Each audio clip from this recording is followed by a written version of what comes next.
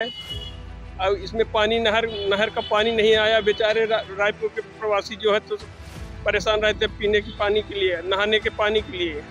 हम लोग मिट्टी से हमेशा बाल धोते हैं। साबुन का साबुन लगाने के लिए तरसते हैं। पंप है वहीं पर जाते हैं। इसके अलावा कहीं मीठा पानी नहीं है।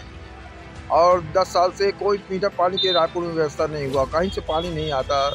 सब डब्बा लेकर जाते रायपुर का पंद्रह साल से। पंद्रह साल से और आप लोग एक बार भी मतलब विधायक जी को अवगत नहीं कराए इस चीज़ विधायक जी यहाँ आते कहाँ है? पाँच साल में एक बार तो आते हैं। हमारे रायपुर क्षेत्र में नहीं सभी क्षेत्रों में विकास होना ज़्यादा ज़रूरी है। यहाँ पचास गाँव के आदमी आ रहे हैं यहाँ ना एक शौचालय है पाँच हैंडपम्प है किसी में पानी नहीं आ रहा है। हमारे रोड को देखा जाए तो कहीं साफ़ सफ़ाई भी नहीं है। यहाँ पर जितने नल जल योजना है सब ठप है। कोई में किसी में पानी नहीं है ना हैंडपम्प चल रहा पानी अगर लाइट गोल हो है, ठीक है ना? देख रहे हैं, इतने खंभे हैं, रायपुर में कभी लाइट नहीं जल रही है, आज पंद्रह सत्रह साल हो गए लाइट तो जल ही नहीं रही है, ठीक है ना? प्लस यहाँ पे देखा जाए तो जो रोड रोड जो बन रही है, रोड के बाद नाली जो देखी जाए, है ना? तो इनमें भी घपला किया गया है। देखिए, नाली कहीं ऊँच है, कहीं नीच है है ना? आगे देखा जाए तो ना हेड पंप है। हेड तो स्टैंड में चार पाँच लगे हुए हैं, लेकिन किसी से पानी नहीं आ रहा है। पैसे देने से विकास नहीं हो रहा है। वो तो अपने कामों की, काम काम की यूज़ में लगा रही है। कोई साड़ी खरीद रहा, कोई कपड़ा खरीद रहा, कोई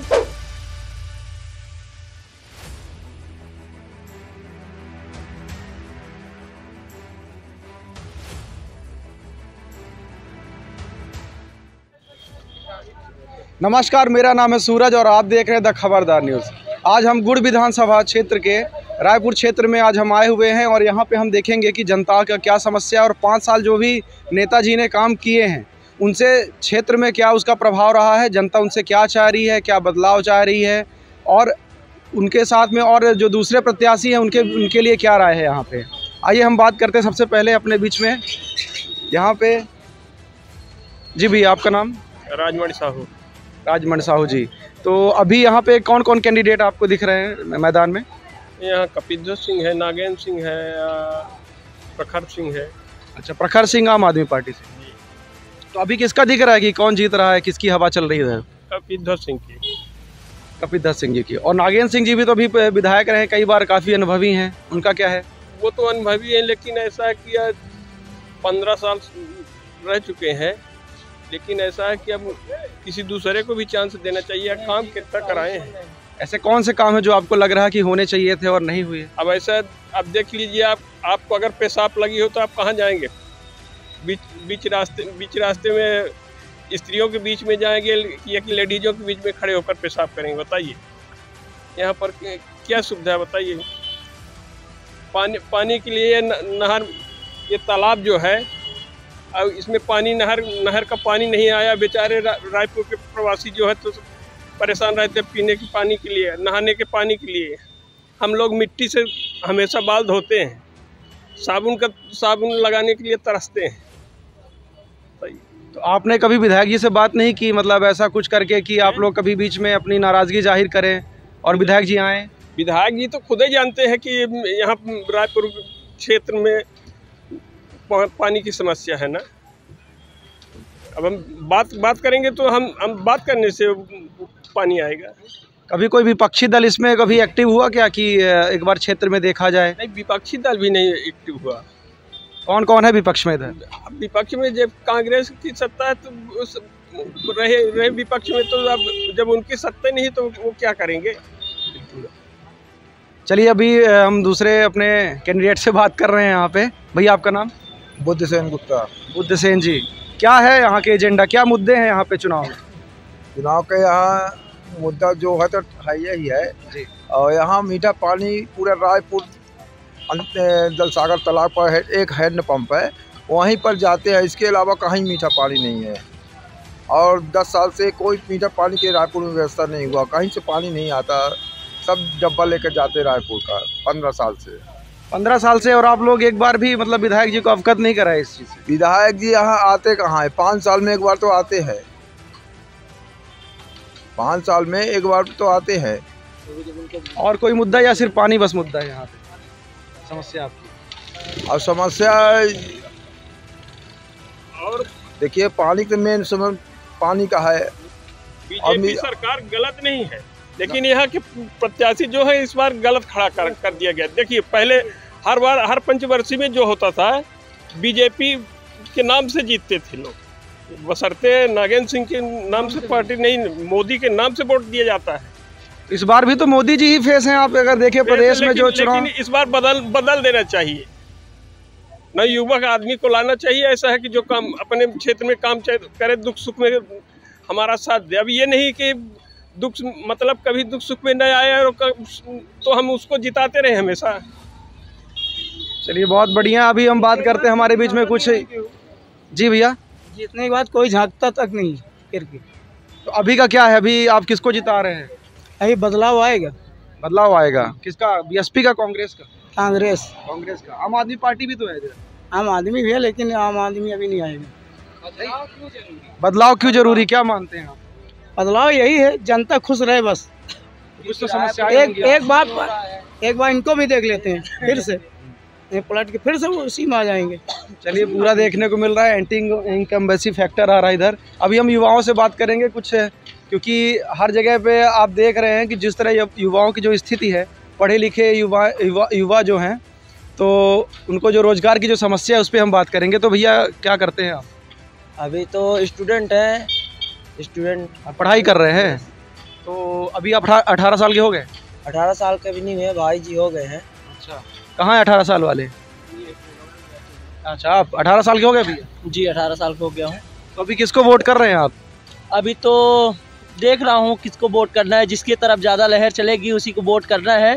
बट सत्ता परिवर्तन होना ज़रूरी है। काहे कि मेरे रायपुर क्षेत्र पे काम नहीं हो रहा है ठीक है ना?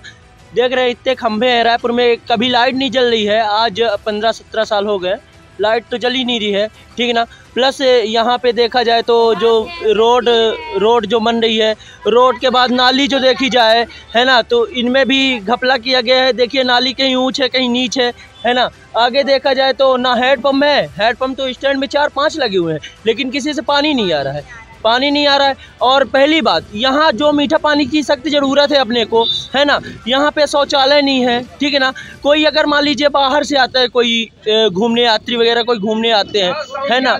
पचास गाँव से आदमी आते हैं, है ना? तो उसमें अपने को क्या है कि वो नहीं हो पा रहा है। अगर मान लीजिए किसी को फ्रेश होने जाना अच्छा भाई, आप ये बताइए कि लेडीज़ भी रहती हैं, ठीक है ना सबको जाते हैं तो वो कहाँ जाएँगे अपना वो देने, है ना? तो इसके वजह से सत्ता परिवर्तन होना ज़्यादा ज़रूरी है ना? मैं तो यही बिल्कुल यहाँ पे बहन हमारी है ये कुछ बोलना चाह रही है बताइए हमारे क्षेत्र में लाडली बहन है क्या आप? नहीं अभी नहीं अच्छा अभी क्राइटेरिया में नहीं है? हाँ। क्या बताइए? अभी इस बार फ़र्स्ट बार मैं वोट देना है मुझे तो मैं यही चाहती हूँ कि मेरे रायपुर क्षेत्र में या फिर हमारे रायपुर क्षेत्र में नहीं सभी क्षेत्रों में विकास होना ज़्यादा ज़रूरी है। यहाँ पचास गाँव के आदमी आ रहे हैं यहाँ ना एक शौचालय है पाँच हैंडपम्प है किसी में पानी नहीं आ रहा है। हमारे रोड को देखा जाए तो कहीं साफ़ सफ़ाई भी नहीं है। धूल मिट्टी से उड़ रहा है उड़ रहा है पूरे रायपुर क्षेत्र को हमारे स्वच्छ बनाना है इसीलिए हमें सत्ता परिवर्तन करना है। तो आपकी नज़र में विकास के क्या पैमाने हैं? क्या समझती हैं आप किस तरह से विकास आपको? विकास हमें ये चाहिए कि जैसे हमारे जो बेरो, बेरोजगार लोग हैं उन्हें अगर एक शौचालय बनेगा तो कम से कम एक घर में रोज़गार आएगा है ना? एक हैंड पंप होगा तो उसमें कम से कम जो इधर उधर से पानी के लिए समस्याएँ आ रही हैं तो उनको पानी मिलेगा। और बहुत सारी हैं जैसे गौ इधर उधर भाग रही हैं उनको अगर एक गौशाला बन जाएगी तो उसमें भी एक घर को रोज़गार मिल जाएगा। ऐसे ही हमें बहुत सारे कारण मिलेंगे रोज़गार के और बहुत सारे मतलब हमें वो करने हैं। इसीलिए मुझे सत्ता परिवर्तन करना है और मैं ही उम्मीद करती हूँ कि जो हमारे क्षेत्र का विधायक बने वो हमारे क्षेत्र को विकास करे।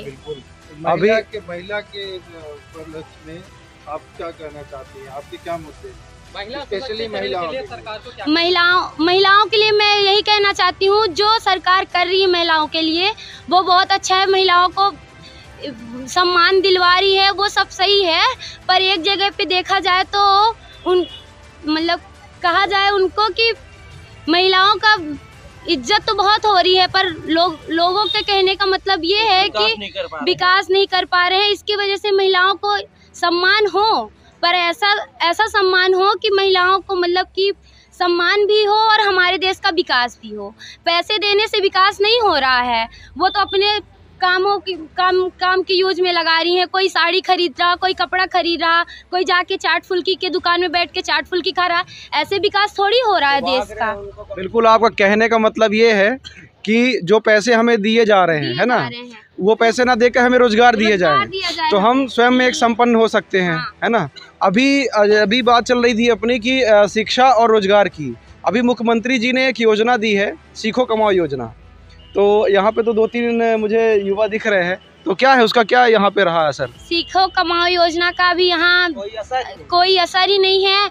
और देखा जाए तो न सरपंच न सेक्रेटरी न यहाँ की मतलब कि कोई भी बता बता भी नहीं रहा है। और ऐसा मतलब देखा जाए तो कोई घर से निकलता भी नहीं है। इतना ज़्यादा जो निकलते हैं वो कभी कोई जानकारियाँ भी नहीं दी जाती, इसीलिए हम यही यही चाहते हैं सरकार से कि हमारे जो क्षेत्र के विधायक बने, वो ऐसी ऐसी योजनाएँ दे बहनाओं को, जिससे हमें रोज़गार मिले।